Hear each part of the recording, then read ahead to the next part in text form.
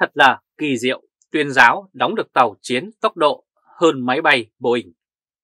Vào ngày 29 tháng 1, báo Người quan sát có bài viết chiến hạm tên lửa hiện đại đầu tiên do Việt Nam đóng, tốc độ tới 1.100 km một giờ, trang bị 16 tên lửa chống hạm và có độ ổn định bậc nhất thế giới. Nếu Việt Nam mà có thể đóng được tàu chiến với tốc độ còn hơn cả chiếc Boeing bay trên bầu trời, thì có thể nói Việt Nam là nước đứng đầu thế giới về công nghệ quốc phòng. Vậy thực hư ra sao? Tuy tựa đề nổ như vậy nhưng nội dung bài báo thì lại khác.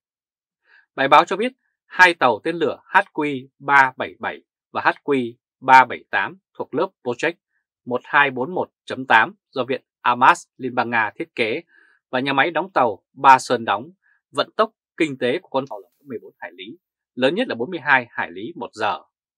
Vận tốc 1.100 km một giờ là của tên lửa chống hạm cận âm Uran-E có tầm bắn 130 km được trang bị trên tàu này. Báo người quan sát cố tình giật tít gây hiểu nhầm. Đây là chiêu trò quen thuộc của tuyên giáo. Họ thường tìm đủ mọi cách để mà qua tụng, quá lố những thành tựu quân đội và chính phủ. Trong trường hợp này, họ cố tình giật tít gây hiểu nhầm. Nếu đọc kỹ nội dung thì sẽ hiểu ra vấn đề, còn chỉ đọc lướt tiêu đề thì sẽ hiểu nhầm. Mà đa số người dân khi đọc báo thì chỉ lướt tiêu đề, vì thế có thể hiểu đây là chiêu trò đánh lận con đèn của tiên giáo nhằm tạo dư luận có lợi cho đảng. Đến chiều ngày 29 tháng 1, tựa đề bài báo nói trên đã được thay đổi, không còn câu tốc độ tới 1.100 km một giờ nữa, mà chỉ còn lại là chiến hạm tên lửa hiện đại đầu tiên do Việt Nam đóng, trang bị 16 tên lửa chống hạm và có độ ổn định bậc nhất thế giới. Nhưng cái tựa đề thu gọn này nó vẫn nổ với cụm từ độ ổn định bậc nhất thế giới. Thực chất khi các quốc gia khác chuyển giao công nghệ cho Việt Nam, nhất là các quốc gia anh em như Nga hay Trung Quốc của Việt Nam, thì hầu hết là những công nghệ lạc hậu hoặc chỉ chuyển giao một phần. Chẳng ai lại chuyển giao công nghệ cốt lõi, đặc biệt là công nghệ quốc phòng cho Việt Nam cả. Có lần phát biểu trước Quốc hội, ông Phan Văn Giang, Bộ trưởng Bộ Quốc phòng thừa nhận điều kiện kể trên. Để có những công nghệ cốt lõi ngoài việc phải tự nghiên cứu thì không còn cách nào khác cả. Thực ra, ông Phan Văn Giang không muốn nói hết sự thật. Những công nghệ cốt lõi trong lĩnh vực quốc phòng, ngoài việc tự nghiên cứu thì còn có thể ăn cắp công nghệ bằng cài gián điệp công nghệ hoặc mua chuộc nhân viên của đối phương. Tuy nhiên, để ăn cắp được công nghệ thì thường là tình báo phải mạnh, còn tình độ trình báo của Việt Nam thì rất khó có thể ăn cắp công nghệ nước khác. Thông thường phải là cường quốc kinh tế thì mới có thể trở thành cường quốc quân sự. Muốn theo kịp công nghệ quốc phòng của các nước trên thế giới thì Việt Nam phải có đủ chất xám mới tiếp thu cho được. Từ năm 2015, Mỹ đã dỡ bỏ cấm vận vũ khí sát thương đối với Việt Nam. Đây là cơ hội để Việt Nam mua vũ khí tối tân từ Mỹ, cho dù chưa mua được vũ khí tối tân nhất nhưng cũng đã là bầu trời công nghệ so với vũ khí của Nga và Trung Quốc. Tàu ngầm Kilo, một loại đồng nát của Nga mà Việt Nam phải tốn tỷ đô để mà rước về. Trong chuyến thăm của ông Phạm Minh Chính sang Mỹ vào hồi tháng 9 năm 2023, báo chí quốc tế có đưa tin rằng Thủ tướng Việt Nam có ve vãn tiêm kích F-16 của Mỹ. Đây là loại tiêm kích do hãng Lockheed Martin chế tạo từ năm 1970, tùy cũ nhưng nó vẫn là loại tiêm kích đáng mơ ước của các nước nhỏ trên thế giới. Nếu Việt Nam có nguồn chất xám chất lượng, đặc biệt là trong quân đội thì việc sở hữu tiêm kích F-16 cũng là cơ hội để Việt Nam học hỏi về công nghệ. Bởi khi đã sở hữu nó, Việt Nam có thể dùng nó để nghiên cứu công nghệ. Giả sử F-16 mà rơi vào tay Trung Quốc thì họ không bao giờ bỏ lỡ cơ hội sao chép. Chiến tranh Ukraine đã cho thấy vũ khí Nga lạc hậu như thế nào so với vũ khí phương Tây. Ngoài việc đem vũ khí hạt nhân ra dọa, Nga chẳng thể hiện được điều gì vượt trội. Đây là hiệu quả tất yếu của một nhà nước độc tài. Nga vốn có nguồn chất xám chất lượng, tuy nhiên rất nhiều tri thức bác học Nga đã tìm cách chạy ra nước ngoài sinh sống để tránh một chính quyền hà khắc, nơi họ chọn nhiều nhất chính là nước Mỹ, sau đó là các nước châu Âu. Nếu Việt Nam vẫn bám vào Nga thì chỉ tốn tiền người dân để mua những vũ khí đồng nát về tích trữ mà thôi. Quý vị và các bạn vừa theo dõi chương trình truyền hình trực tiếp với bản tin Kỳ diệu, tuyên giáo đóng được tàu chiến tốc độ hơn máy bay Boeing.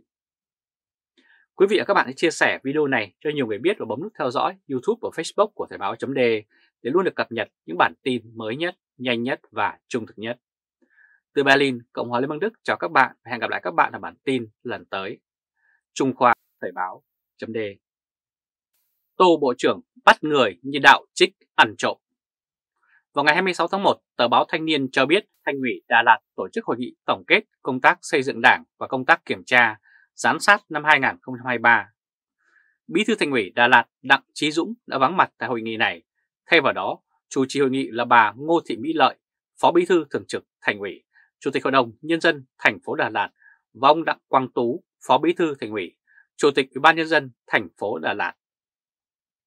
Dự hội nghị có ông Trần Đình Văn, Phó Bí thư Thường trực Tỉnh ủy Lâm Đồng, trường đoàn đại biểu Quốc hội của tỉnh này. Ông Tô Lâm bắt trộm Nguyễn Cao Trí khiến cho xã hội tưởng ông bị mất tích. Vào ngày 24 tháng 1, ông Tô Lâm đã cho người bắt ông Trần Đức Quận, bí thư tỉnh ủy tỉnh Lâm Đồng.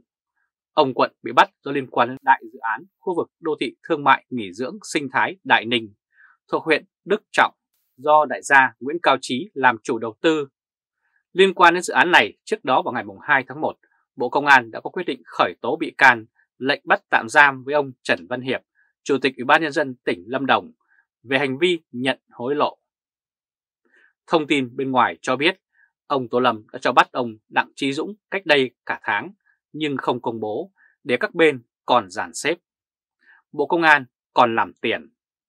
Đây là thông tin không phải là không có cơ sở, bởi ông Tô Lâm cũng từng bắt người mà giấu tin trước báo chí quốc tế cũng như trong nước. Trước đó vào ngày 5 tháng 8 năm 2023, ông Tuân Sô, người phát ngôn của Bộ Công an đã thông báo ông Nguyễn Cao Trí bị bắt. Điều đáng nói là ông Tuân Sô cũng thông báo vào ngày 15 tháng 1, cơ quan cảnh sát điều tra Bộ Công an đã ra quyết định khởi tố bắt tạm giam ông Nguyễn Cao Trí sinh năm 1970 về tội lạm dụng tín nhiệm chiếm đoạt tài sản theo điều khoản 4, điều 175 Bộ luật hình sự. Vậy là ông Tô Lâm đã cho bắt ông Nguyễn Cao Trí 7 tháng trước khi ra thông báo. Ông Đặng Trí Dũng cũng mất tích bí ẩn như ông Nguyễn Cao Trí vậy. Từ nhiều tháng trước khi ông Tô Ân Sô thông tin báo giới về việc bắt giữ ông Nguyễn Cao Trí, thì báo chí đã rộ lên tin về sự vắng mặt của vị đại gia này mà không có lý do. Có thể báo giới không biết và cũng có thể họ biết nhưng không được quyền nói. Không có luật nào quy định lực lượng công an được phép bắt người âm thầm như bắt cóc vậy.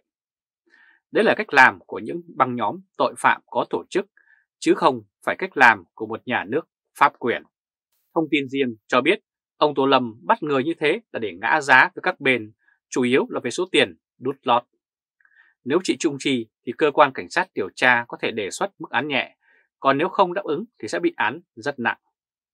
Hành động này chỉ khác với nhóm tội phạm có tổ chức bắt cóc người để đòi tiền chuộc ở chỗ. Khi nhóm tội phạm bắt cóc người đòi được tiền chuộc, thường thì sẽ thả con tin. Còn công an Việt Nam cũng bắt người để làm tiền, nhưng không thả người mà chỉ áp dụng mức án nhẹ hơn sau khi yêu cầu của họ được đáp ứng. Ông Tô được cho rằng thích bắt cóc hơn là bắt người theo quy định của pháp luật. Không biết công an được mệnh danh là lực lượng chấp pháp mà chấp pháp theo kiểu tội phạm thì lấy đâu ra nhà nước pháp quyền. Người đứng đầu Bộ Công an lại mang người sang tận Berlin để bắt cóc thì làm gì lực lượng phía dưới, bàn tay điều hành của ông làm sao biết tuân thủ pháp luật làm theo. Ông Đặng Trí Dũng rất có thể cũng đã rơi vào trường hợp như ông Nguyễn Cao Trí bởi đó là phong cách làm việc của ông Bộ trưởng Bộ Công an đã có tiền lệ khi mà công an dùng đặc quyền đảng ban đứng lên trên pháp luật để làm tiền thì có thể nói người dân Việt Nam đang sống dưới bóng vuốt của bọn thảo khấu mà rất nhiều người cứ ngỡ là đang được lực lượng chấp pháp bảo vệ. Quý vị và các bạn vừa theo dõi chương trình truyền hình trực tiếp của Thời báo chấm với bản tin Tô Bộ trưởng bắt người như đạo trích ăn trộm. Quý vị và các bạn hãy chia sẻ video này cho nhiều người biết và bấm nút theo dõi YouTube và Facebook của Thời báo chấm để luôn được cập nhật những bản tin mới nhất, nhanh nhất và trung thực nhất. Từ Berlin, Cộng hòa Liên bang Đức chào các bạn và hẹn gặp lại các bạn ở bản tin lần tới. Trung Khoa Thời báo chấm